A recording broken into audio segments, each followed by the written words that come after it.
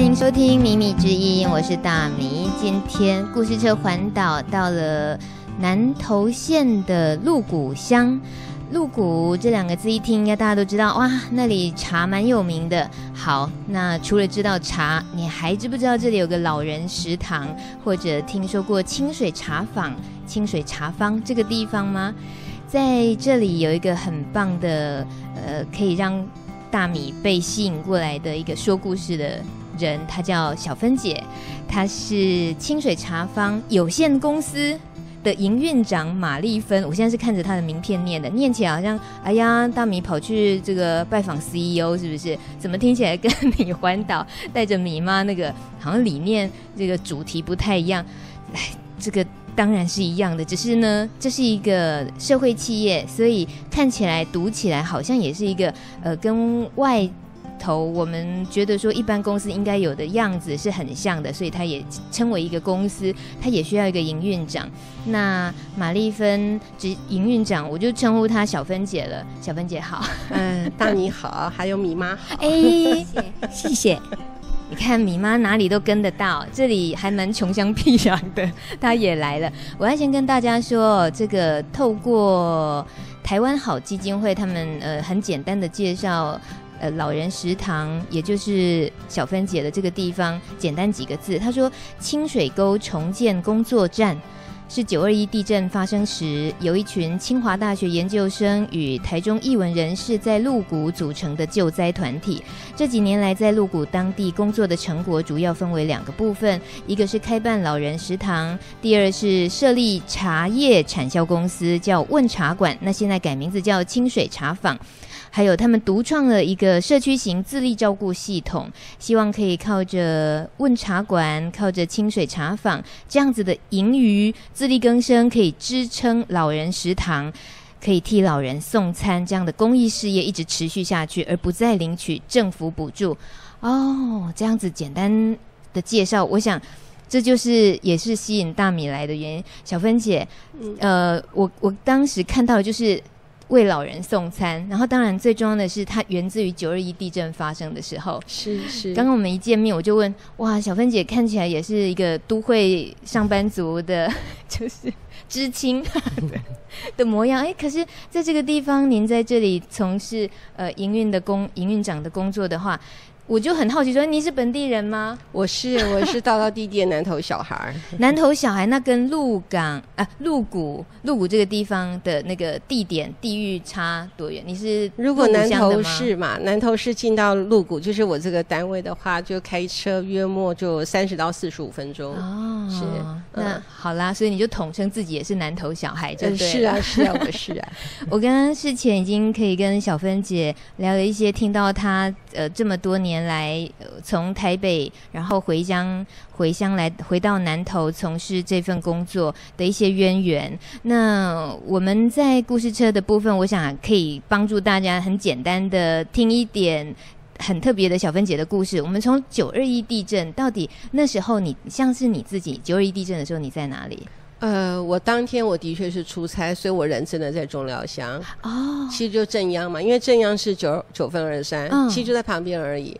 所以那个当天晚上那个走山呢，就是山会动的声音都听得到，轰隆轰隆轰隆的响。你那时候呃也算是离家很近的时候，然后又接近正央。是那一次那个事件发生之后，你停留在老家多久？呃，我其实本来是出差嘛，哈，但是从发生的那一刻，我几乎就开始留在，等于就是说，我就留留着做重建这件事情。留到同年，哈，就是一九九九年同年的年底，然后因为我是留职停薪嘛，然后呃一过完年我就回台北报道，然后报道实在到呃就呃等于是在隔年的二月我就受不了了，我就跟老板说，我说不行，我一定要回家，就是我要回来做重建事，所以我就正式跟老板提了一个辞呈，我就开始回来做重建的事情。受不了是什么意思？你你总觉得就是嗯，因为你你亲眼看着，就是你你从小生长的环境，就是呃，他是在一夕之间没有的嘛啊。那我们长这么大，尤其是台湾的小孩，是真的很幸福的。我自认我这五字头还蛮幸福的，所以我是没看过打仗的。可是我觉得，呃，九二一在我的眼里面，我看到的就是好像战场一样哈，就是家都没了。那当然，你原来熟识的一些人也都在那个晚上就都没有了嘛。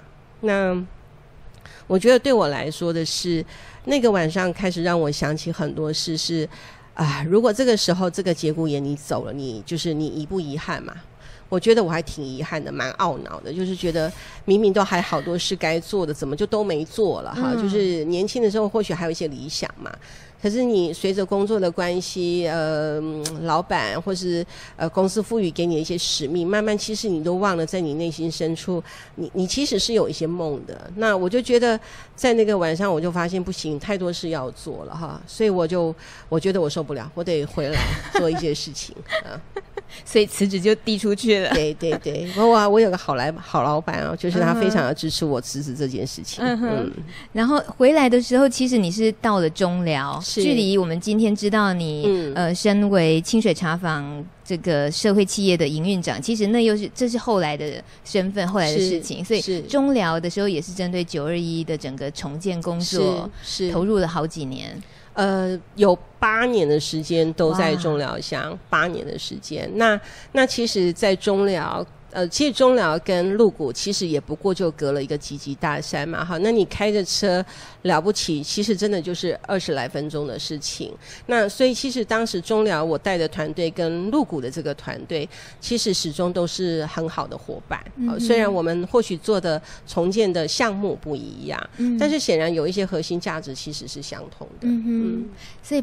八年，事实上你在中寮忙的时候，嗯，在这一头鹿谷的这一头的老人送餐，就是从来没断过的，是的，是的。所以可以跟我们介绍一下当时九二一之后的这个老人食堂的样貌跟演变了这几年。OK，呃，我我大概就是把我所能够知道的哈，我呃稍微简述一下，就是说，因为起初在呃九二九二一发生的时候呢，就是呃就是刚刚你你念的那一段话嘛，哈，就是整个团队的一些呃。创办人、发起人，他们当时就发现了，就是在农村的老人，哈，就是在于呃老人照顾这件事情，其实他是很很缺乏的，哈。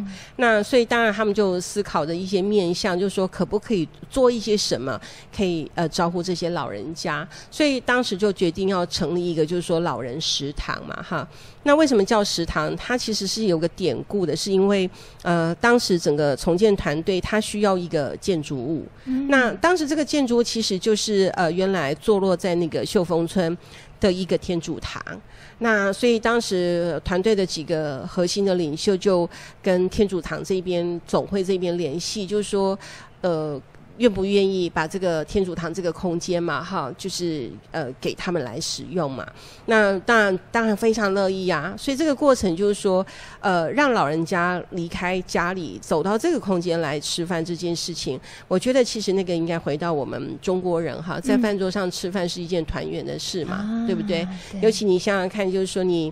老人家左邻右舍趁这个节骨眼，你走出来，就还可以彼此问候，然后呃，就是呃，端倪一下对方好不好，聊聊近况嘛。那我觉得。这个其实是在于人跟人之间关系的经营啊。那当然，这个这样的一个一个起初，就是说起初这个形态，也其实大概有呃经历了大概有有一两年的时间哈。可是到后来就加上辗转几个呃原因哈，那个原因当然就是有包括跟地方的呃协会的，或是说来自于就包括整个当时参与在于呃做饭的。这整个所有的工作人员哈，都有一些很大的变动嘛，所以后来就老人家就决定就是回家吃饭了，就是说那变成是有团队的伙伴，就是把呃一到五，然后午餐晚餐就是把它打成一个餐盒嘛，嗯。然后就骑摩托车送到老人家去吃饭这样子，所以才会从呃原来的老人食堂，然后就是直接呃到如今转成就是说直接都是用老人送餐，为老人送餐，而且他嗯比较有一。个条件的筛选吗？是属于偏向于服务独居老人？呃，当然当然不能说都没筛选了哈。不过显然我们家筛选标准还跟别人不一样嘛 哈。就好像今天大明今天坐在现场，你的身后其实就有我们的财叔嘛，财叔都坐在那边打盹儿。对，等一下，那是员工吗？不是，呃，财财叔跟着我们家吃饭，其实吃两年了哈。那财叔一毛钱我们都没收哈。那财叔其实不能说没家人，他其实是有的哈。那财叔的身份，第一个他其实是低收入户，嗯，然后他其实是英雅人士哦。可是，但是显然看起来，呃，家里的家人似乎就在九二一的时候也没有打算接纳他嘛，所以其实反而是整个重建过程有一些所谓的民间宗教团体进来了。那他们发现了财叔，所以就在原来财叔倒掉了老家的一个空地上麒麟地，他们帮他搭了个铁皮屋。所以其实财叔是没有跟他呃现存的这些家人哈跟他们住，其实并没有。嗯。那财叔的家根本连个浴室也没有，连个厕所也没有哈。那反正就是应该是说讲的更直接，就是我们的地主阿贝嘛哈，就是能炫的爸爸，其实是。阿贝他呃某一日跟我们聊天了哈，他气不过，就是有点打抱不平了。嗯，他就是把才说是就叨着给我们听嘛，那我们当然听了也怄不过了，我们就觉得。我们就觉得说，那就跟着我们家吃饭吧，因为吃一口饭我们是养得起的嘛，哈，我们吃什么就吃什么了，也没什么山珍海味嘛，所以财叔跟在我们身边吃饭都吃两年了。嗯，那看起来他在这边睡得这么自在，应该整个生活跟这里还那是有原因的啊。其实财叔的铁皮屋很热，那可是我们有，我们其实都帮他装了吊扇，也帮他装了抽风机嘛。可是显然家里人是管控他的，不让他开。因为那个会有电费的问题，对，所以其实财叔他只要没有被他们叫去做工，财叔一定会在这边睡午觉，好，因为在这边真的就凉爽嘛，哈，他可以好好休息。但他如果被逮去做工，我们就没办法了，抢不回来，我们就认了。这个你们这里就是能救一个是一个，是这个味道。对吧，显然看起来是有这样一点点的意思。明明就这边是一个狭义的这个收留所，狭义不敢啊，但是就是总是就人家讲的嘛，你就是有一件事情看不过去了，能做就做一点吧。嗯，所以为老人送餐，其实。最针对的还是那些真的是非常需要的，管他是不是说一定是独居的身份就是是是是。但这么多年下来，从九二一的时候，那时候能够呃一个定点的老人食堂，那时候的服务的人口数跟现在高峰期的时候，约莫吃饭到食堂吃饭的老人家。大概有有八十来位上下，高峰嗯高峰期，可是后来就随着逐年嘛，逐年就递减递减，那一直到今年第十六年了。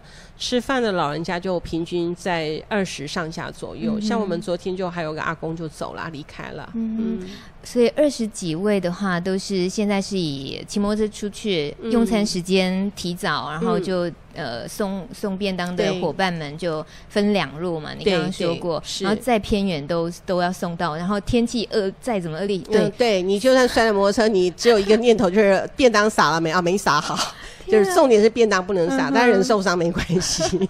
哎，呃，这个我我倒是得残忍的再问追问哦。你像是老人食堂的那个时期的时候，嗯，它的功能像小芬姐刚刚提到，人出了门口，然后到了一个聚会的场所，尤其对老人家来讲，那种交流、慰问、互相凝视，这个这个的对个人身心健康的影响，跟他就是在家里等候时间到啊。终于有便当，哎，我我都不用担心吃饭的问题，有人送便当来，他就整个人际关系是局限很多。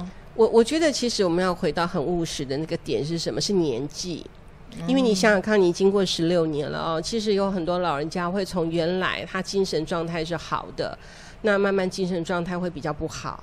那甚至比如他原来的行动的机能其实是很强、强度很高的，嗯，可是现在会退。我为什么讲这个话？因为我们家就有个老太爷啊，我爸爸今年都八十几岁了，也不太动。其实他都还能走路，可是对他来说，他会觉得每每外出对他来说，他都觉得特别的吃力啊。对，吃力。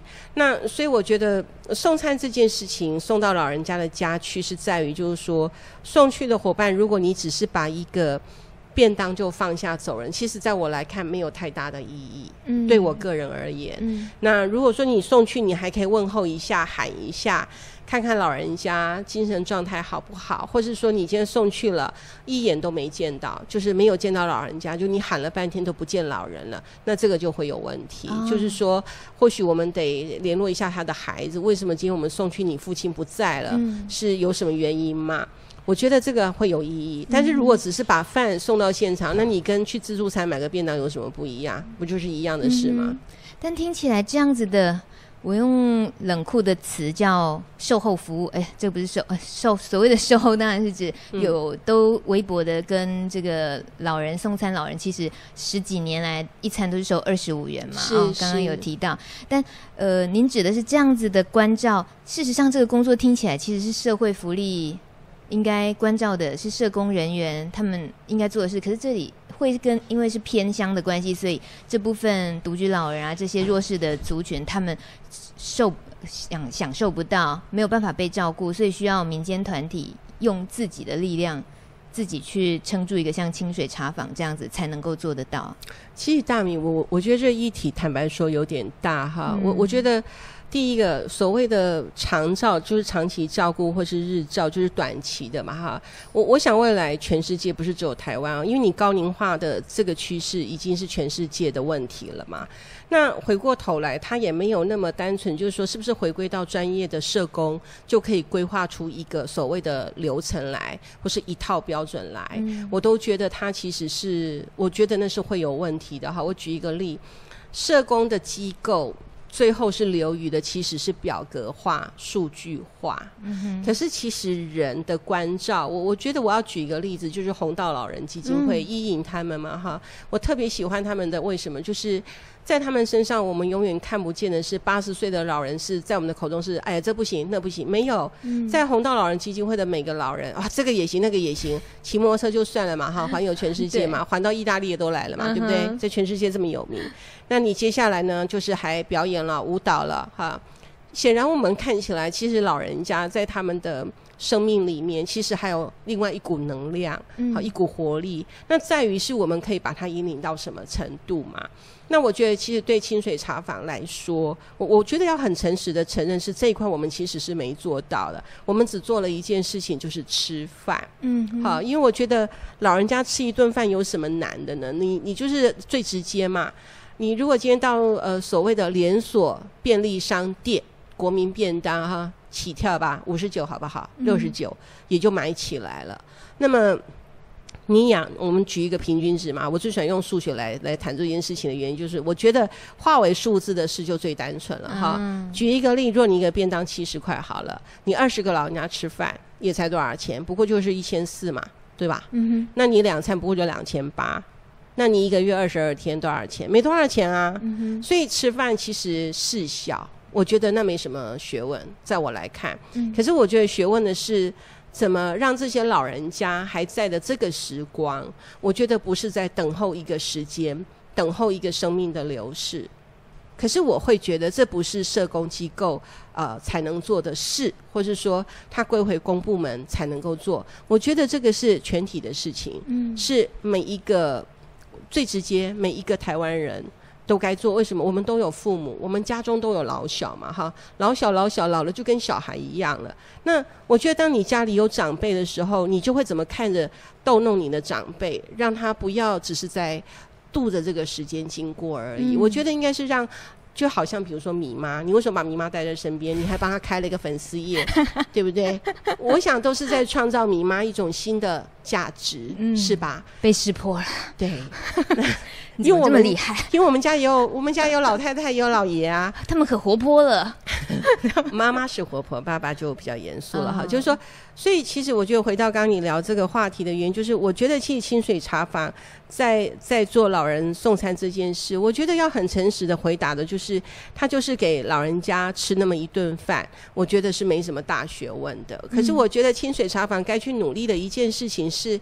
呃，当你这个企业体，你真的有一天你把它做起来，你做成功了嘛？你最少你不要再负债的时候，那你能够再转身出来的价值到底还有哪一些嘛？哈，比如说对于老人吃饭这件事情，有没有再额外衍生出来？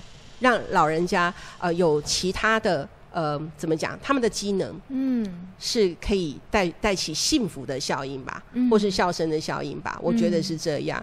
那回过头来，清水茶坊你所做的事情，除了在老人家吃饭这件事情，就是未来你当你成功之后，你有没有可能把你所谓对于不论是在于呃土地的或是小农的这个平台的效应，就是说把它再拉大一点，再让更多人有机会可以透过这个平台，比如说我可能我只是需要某一个。呃，一个一个知识上的协助，或是一个资源上的窗口，你可不可以引荐给我？嗯那我觉得未来其实清水茶坊是有能力可以做这些事情的。嗯哼，嗯，这也是现在走进清水茶坊这个这里算是办公室嘛？啊，办公室对，会有看到衍生出的，就已经不只是茶叶，像是小芬姐也端出这里的呃茶梅啊，各式各样的梅子这些腌制品也好，农产品的部分。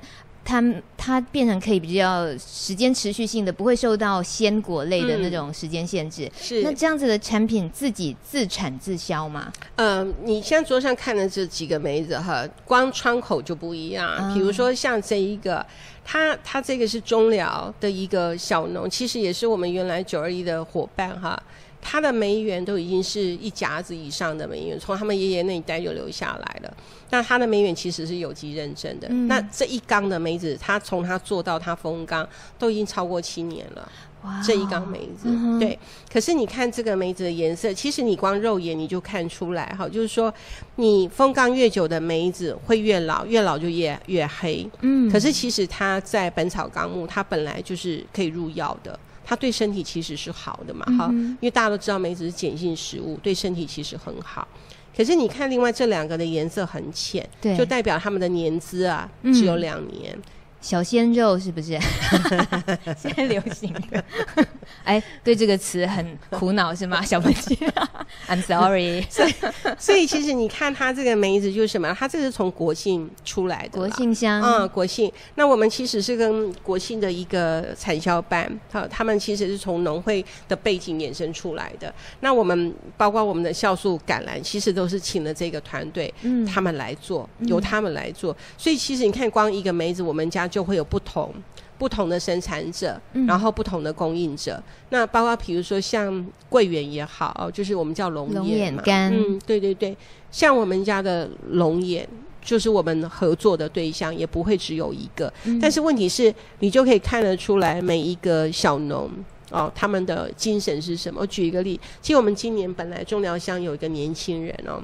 他其实今年本来在呃苏迪勒台风不进来之前，其实他有来我的团队啊，那他就是在跟我讲说啊，啊小芬姐，然后我就一个人做嘛哈，他说呢我其实好认真摘了哈，就是所谓摘果子把果子摘下来嘛，他说可是呢我每一株上面都还摘不完，总会有遗留在上面，意思是什么？就是他一个人做，他其实做不完哈，那对，那我就跟他讲，我说没关系，我说今年如果我说如果你你的龙年好了。那可是你，其实你很想就是全部委由我们清水茶坊，就是由我们跟你采购。我说我非常乐意。嗯，好，那我说，但是我要让你知道，我一定会有最高标准跟最低标准。那这个给你参考嘛，你就心里有底了哈。就苏提苏迪勒台风不是走了嘛，然后这一走不是又下了两周的那个豪雨，对不对？就南部的桂圆欠收，南部。啊，就南部所有的贩子全部往中部跑。嗯哼，那相形之下嘛，你就不难想象，桂圆本来的价格有一定的行情价，马上被炒作起来，炒高了哈。那炒高之外，就还会衍生出来是什么？你原来可以合作的窗口啊，都开始。会有状况，那所以像这孩子，我就跟他打电话了，我就问他说：“我说那你你桂圆采的还好吗？我说还顺利吗？”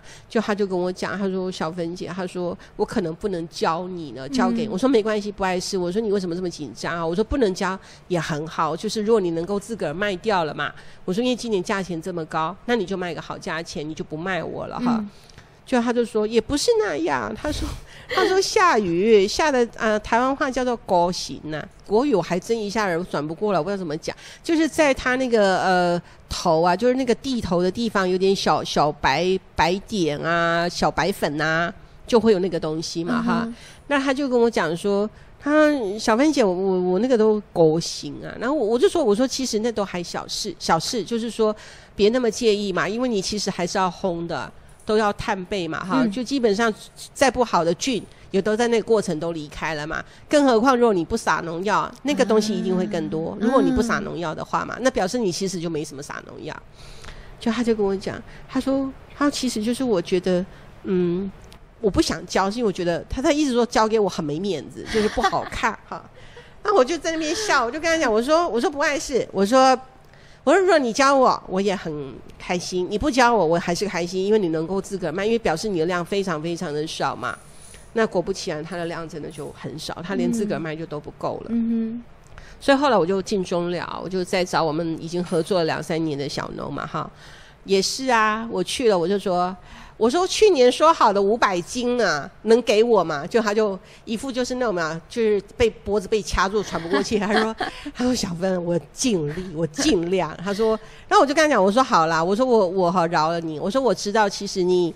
你始终都有一群你的主顾客，每一年都要回来跟你买龙眼干的嘛？哦，我说我饶了你了，我也不要那么狠。我说就这样了。我说你也把你的主顾客都照顾好了，你还是得帮他们留下一些货嘛。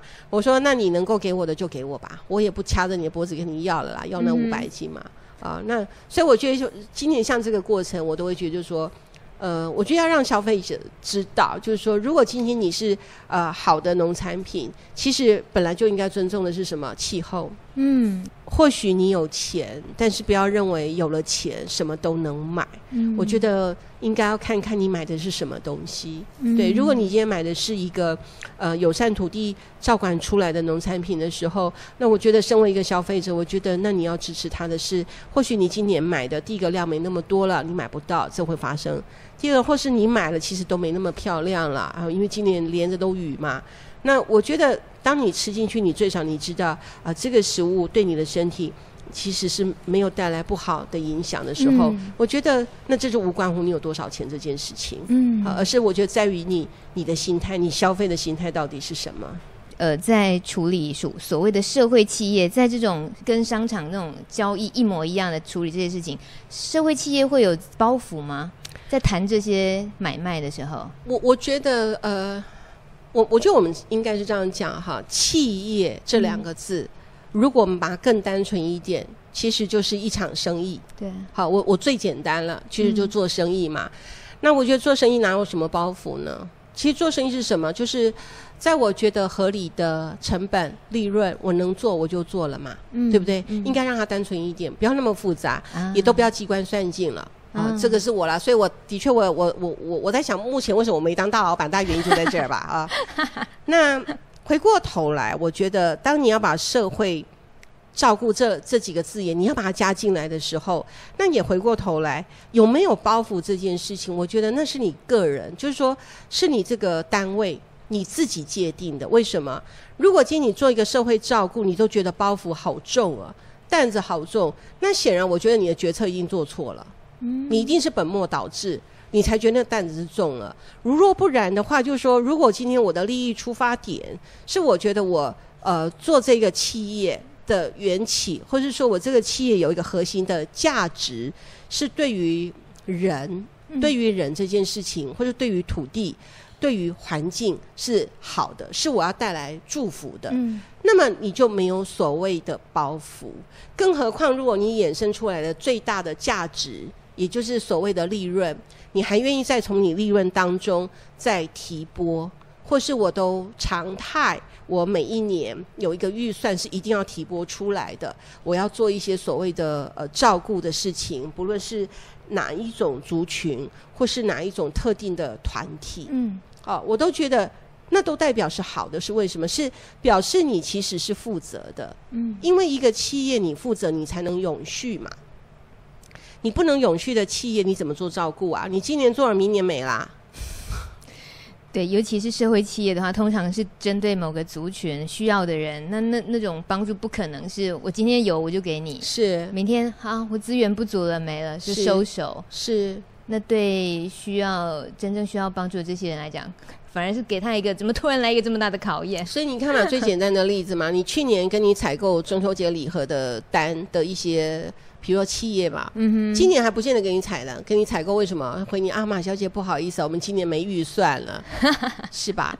可是你做你做照顾这件事情，你就不能了嘛？对因为你表示你其实是很负责任，是你知道这是一个永续性的事情，讲的更直接，是一年三百六十五天的事，嗯不是吧？嗯嗯，那所以你既然是一个永续性的事情，就代表说你其实会很清楚的是你的你你可以提拨出来的预算经费是不是其实是你可以承载的嘛？对呀。嗯哼，呃，在南投，我们今天能够坐在这里，其实这里一般观光客不会来啊，我对不对？路们家没有过没有收。没有收的，嗯没收，所以呃，如果说大家对于清水茶坊的这一个他他这个社会企业想支持，对于产品也想了解，其实也想间接的想要呃支持你们永续的为老人送餐的这个行动的话，应该就是最简单，其实就透过支呃购买清水茶坊的这友友善耕作的农产品。简单讲只是这样子哦，嗯但透过网购的方式是吗？我们家目前是以网购居多嘛啊、嗯因为我们实体的通路目前呃比较平稳的来说，其实是台湾好基金会的台湾好啊店、在台北。是，那可是因为台湾好店，其实它因为它对于呃社区的照顾，包括对于有一些就是非营利组织团队的照顾，其实是很多样的。嗯所以，但是它的空间就那么一点大嘛，嗯所以它就不可能说我们家的产品呃每一样在那儿都有，嗯所以它就是选择性的挑。嗯哼对对，所以当然很欢迎，就大家可以呃上网，或是你可以打电话直接进来订购都没有关系。嗯嗯，啊，今天可以耽误到执呃，本来以为是执行长，事实上是营运长。我现在又看着名片了，玛丽芬小姐、小芬姐，耽误了你很好一一一两个小时的时间听你说故事。我可以有这个机会，然后带着我老妈。其实啊，你们服务的就是老人送餐这个啊，事实上大概年纪就我老妈以上的，因为已经超过六十五岁。是可是真的说，呃，说实在的，我自己知道自己的妈妈活动力还很棒，而且人年纪虽然大了，其实心里头一些理想啊、梦想啊、想做的事情不输我们的。嗯我们年轻人或许都觉得日子就是这样子啊，哪有什么？可是没有，他们会感觉有很多更想珍惜时间做的事情。嗯、所以这些激发能够一起出来，然后能够看看你们。你们对这边社区老人做的事情，然后可以认识很多小农的生命力，我都觉得我我老妈应该，老妈很高兴哦，老妈。哎，很高兴，哎，大大米带我出来，真的哎，让我有机会呃认识认识我们啊、这个小英姐，哎，小小芬姐 啊，小芬，哎，真的听你说哦，这一这一段真的你你的你的用心，你的带带动力，你的团过的这些规划真的很棒，真的很棒，很好。谢谢你妈那不敢当。呃，说真的，我你说这些，我真的都有听，呃，有懂，我有经过的。但是像你这样这么有有勇气，又看重这些呃落后的这些家庭的老人家呢，这些他们不只是要要服务他，重点你是要关心他，关心到他的整个呃人生的呃生活观。哎那那米妈，我我但我得招供一下哈，那个照顾关心都是我的伙伴们啦，因为菜是他们煮的，饭是他们煮的嘛，便当是他们送的嘛，哈。那我唯一做就是赚钱啦，我只负责赚钱这件事情，我一定要诚实招工这件事哈。其实是伙伴他们，呃，真的他们很辛苦，非常的辛苦。哎，没有你就没有他们来来弄啊、煮这些啊、这些人文来送送便当嘛，哎、就是有头有带有头才有最诶、最最配最爬位嘛，嗯，然后有即个带有即个头来来来转点，之后，即个尾这大拍来给你支是持嘛。我听我听。有，你听有嘛？我妈妈台湾人，我听我听有。嘿啊、啊，都有你咧带头啊，所以才有食安尼，啊，安尼因就是咱这个砖头就是足有福报的，因为迄九二一吼，真正是会使讲足惊人诶。吼、阮我我住台住武峰，嗯啊，咱咧玻璃迄边足严重啊。啊，阮迄阵啊嘛一寡团队嘛会去啊，去啊煮食。啊，佫有一寡大学生诶，学界一寡大学生啊，伫遐留三个月，甲因穿内底照顾身躯种种安尼啊吼。所以，阮诶，阮我知影诶时间目前嘛要有啦。但是我听你讲安尼吼，哇，你你很伟大，不简单。离开又回来，被邀请就回来，不，哎呀，无想讲过去伫遮迄段时间，迄种艰苦就歹。就歹去以前拿捏落去啊呢？你有迄个勇气，佮倒来吼，佮继续即袂容易互伊失去。无啦，我我我无乖，嘿，就乖咧。我我是上帝叫我倒来，我嘛无遐大勇气啦。我勇气是上帝互我，无我嘛无遐大勇气。所以讲，所以讲吼，你你迄个坚持，你迄个，你迄个迄个迄个想法，你也志向真的很高，真谢谢，真钦佩你，谢谢你妈妈，真钦佩你。我老妈其实就是老人家比较有一些生活经验累积啊，所以我一路带着她的时候，有时候让她参与我们访谈的时候，她会。很很懂得下注解，嗯，对我我自己平常就只顾着听故事啊，听听这整个过程，但他那脑筋就在动着，哇，这是一个什么样的人生？他做的这件事情，它代表的意义是什么？他如果说当年不是因为他家里太穷没让他读书的话，他现在想必也也应该可以撑起一番事业。我我相信，我相信，我相信。对，我我真的很感谢小芬姐，我尤其我妈妈刚刚在讲这个九二一的事情哦，我我。一点点刺激，就是我觉得好难得的是，九二一对我们来讲已经变历史名词了。可是清水清水茶坊竟然是从九二一当年做的送餐给老人事情坚持到现在，是是，我真的是我太太敬佩了。所以所以那个那个新竹物流的那个基金会执行长啊，俊凯都说什么？他说：“小芬，别人都还在吵着那个社会企业。他说你们家是台湾第一个社会企业，真的。他不讲，坦白说，我也脑袋也没转到那。他一讲，我愣了一下，我想，哎，还真是，哎，嗯，还真的是。所以能够你刚刚讲的，你不是负责去煮饭煮菜的，慰问老人，那都是伙伴们的辛苦。那你只负责赚钱，是的，你要继续努力赚钱啊。是是，你要赚钱，他们才能够养活自己，是老人才继续有餐吃。对对对，这个很重要，这个很重要。谢谢小芬姐，谢谢谢谢谢谢大米，谢谢你妈，谢谢。